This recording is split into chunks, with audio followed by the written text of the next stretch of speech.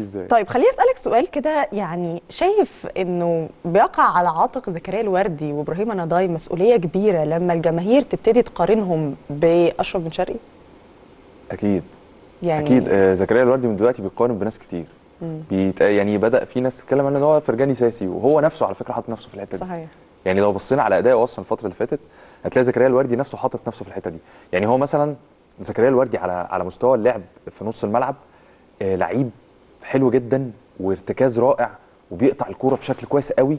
آه خفيف لعيب خفيف آه مش واقف على رجله آه هو واقف على رجله قصدي مش واقف على رجله مش ثابت. يعني في لعيبة بتقف على رجلها رجلها بتتمسمر في الأرض ما بيعرفش يجي يترقص بتاعه هو مش عايز يترقص بس ممكن اللعيب ياخده ويجري. خلاص هو مش عارف يجيبه.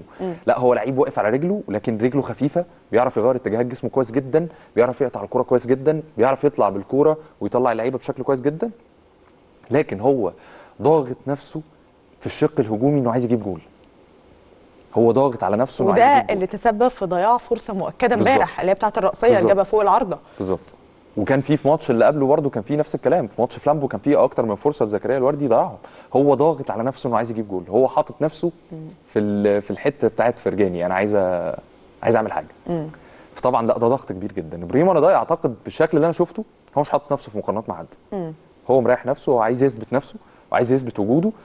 بدليل هو ال- اللعيب من أول دقيقة لحد آخر دقيقة بيشارك فيها هو بيجري طول الماتش. بيحاول يقدم اللي عليه كويس جدا. آه عينه حلوة في الملعب. بيعرف يساعد زمايله كويس قوي. مش أناني. دايما اللعيب اللي بيبقى أنا لو لعيب جيت اتحطيت في مكان لعيب كان راجل هداف آه وعمال فانا عايز أثبت إن عايز أنا أحط بقى جول. آه أنا عايز أحط آه. جول وعايز أرقص ترقيصة كده وعايز أعمل كده وعايز أحط جول. لا إحنا ما شفناش من ده, ده من إبراهيم نضاي خالص. الراجل بيحاول يلعب ال- الكورة اللي تساعد الفرقة.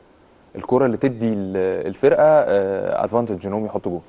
فهو لا أنا مش شايف إن ده هيأثر عليه ولكن أعتقد زكريا الوردي هو اللي حاطط نفسه في آه، محتاج زكريا الوردي يعني آه ياخد الموضوع بشكل إن هو منافسة لكن ما ما تقلبش معاه بالظبط. منافسة سلبية بالظبط. إن أنا مضغوط قوي ولازم أبان بالطريقة دي بالظبط. فيقلب معاه زي اللي يعني شفنا امام امبارح إمام مثلا كان في الفرقة هو اللي كان قاعد لفرجاني ساسي على الدكة ولما فرجاني مشي وإمام لعب ما شفتش إمام حط نفسه في إمام عرف دي. يستغل. مشيان ساسي بشكل. لصالحه ولصالح كان عارف النادي إمكانياته. صح كان عارف امكانياته واثق. فيها جدا هو كان بس محتاج فرصة يمكن مشعان الساسي ده اللي خلى الفرصة تبقى قدام آه، إمام عاشور وإمام عاشور أصلا من ساعتها ابتدينا نحس بنضجه يعني فاكر إمام عاشور من الأول كنت عايز أقول لك كده والله إن ده خدمنا مشان فرجاني ساسي ده خدم الزمالك أكتر ما ضر والله. العظيم بإنه ده فرصة لإمام إن هو يظهر بالشكل بالظبط ويحس إمام بال- بالمكانة اللي هو. خدها لأن إمام. في الأول كنا يمكن بنلاقي منه حركات صبيانية وكنا نطلع نقول يا. إمام بالراحه. ومش. عارفة إيه دلوقتي بقينا نشوف إمام ماسك الدنيا بالظبط. قائد بالظبط. أصلا في الملعب ففي تغييرات كده أو في غيابات بتخلينا فجأة نكتسب زي برضو الناشئين في الموسم اللي فات طبعا- طبعا. مين تخيل إن إحنا ممكن نلاقي أيوة، إحنا قلنا الكلام ده. لا ده, ده, ده كانت فرصة إيقاف القيد. ده ده خدمة عملها الفيفا للزمالك دي حقيقة. خدمة كبيرة جدا خلينا نحس إن إحنا في أصعب الظروف برضو عارفين. نقود